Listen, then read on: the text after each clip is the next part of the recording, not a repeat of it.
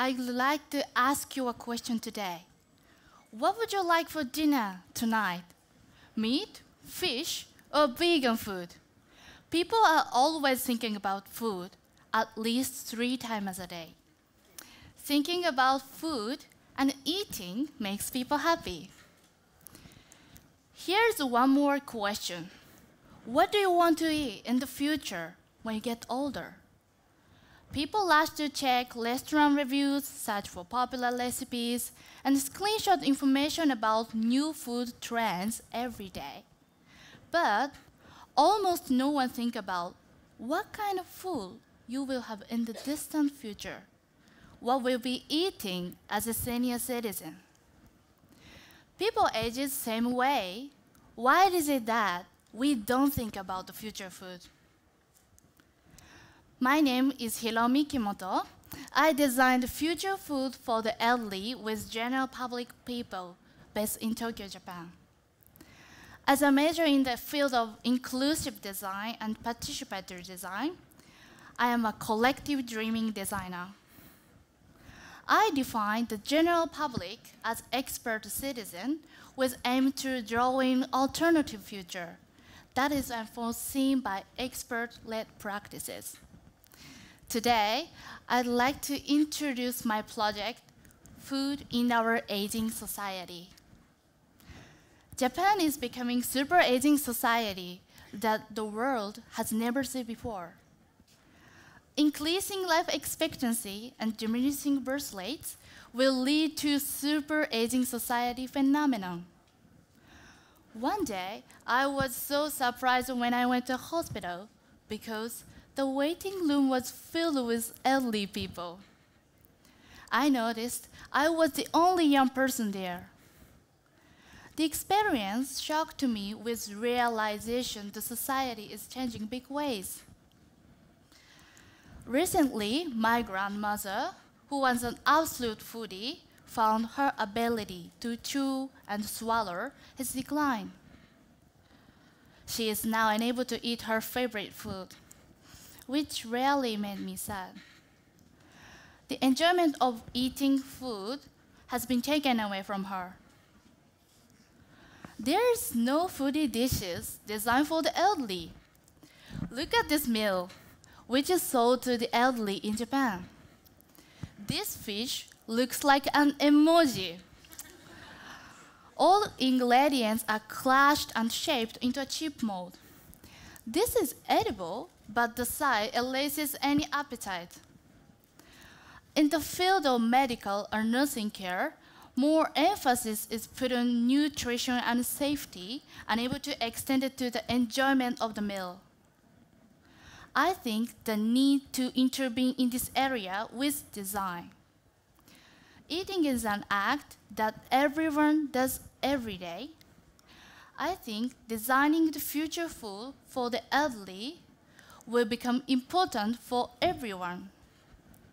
So I speculate about future food for the elderly of 2035 when one in three people of Japanese population will be considered elderly. In 2035, it is also expected that food technology, such as food printing or artificial meat, will be deployed into the market.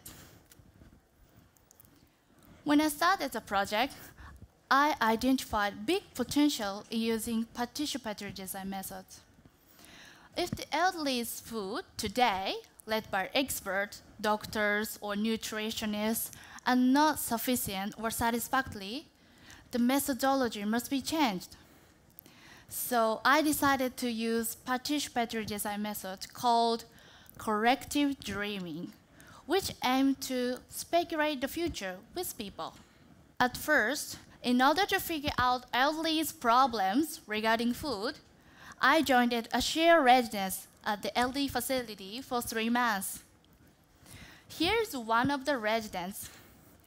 This is Yae, 91 years old.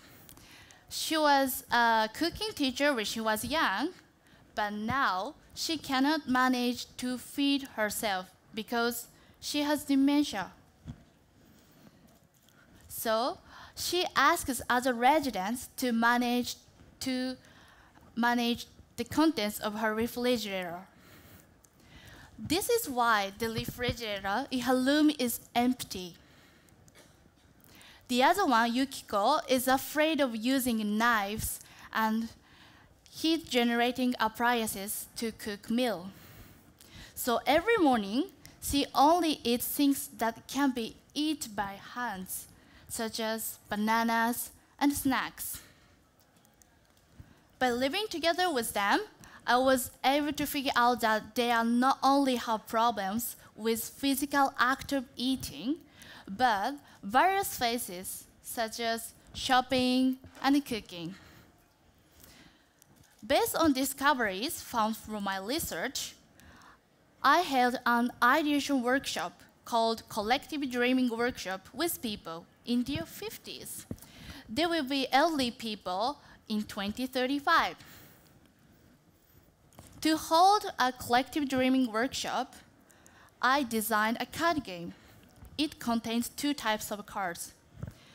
These yellow cards introduce elderly's problems regarding food found from, from my research. These green cards introduce food technology that could be emerging in 2035.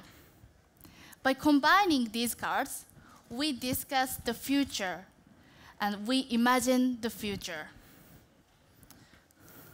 The ideas from Collective Dreaming Workshop were very fascinating. First, this is a new kind of vegetable called fully ripe veggie. Many elderly people who lost the power of chewing cannot eat fibrous flesh vegetable. In many cases, vegetables are cooked for a long time to make them softer.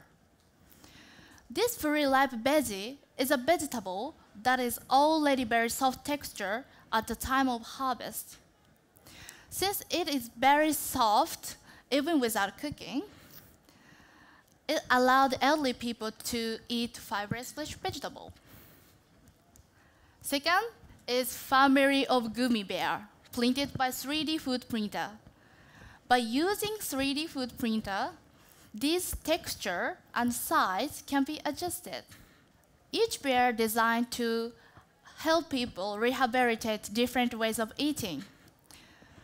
This round bear, for example, helps with continuous chewing. This bear looks like uh, noodles, helps with the active slurping. Yeah? And this long body bear helps practice biting of something, like dog, yeah? Next is balloon meal, packaged in balloon. This was created for the elderly who has paralysis and dementia. By popping balloon with a stick, each bowl can be prepared and eaten without any cutlery or cooking. Since the elderly only have to eat bowls of a certain color, in specific quantity every day, like medicine, it is so easy to manage daily meals. These ideas introduced so far are not necessarily correct answers, but triggers for imagining the future. Eating balloon meals every day might be an interesting suggestion for you. On the other hand, it could be criticism that they don't look like meals for humans. But through this workshop, we learned that the aging is not something to be sad about, but something that could be approached with more humor and positivity. Today, the society is more complex. Fighting against vast social problem like super aging society by myself is impossible so I choose not to fight alone. I think discussing and co-creating with general public people can make alternative future. And I believe that the designing opportunity to discuss and think collectively will lead to more humorous and exciting future. Thank you.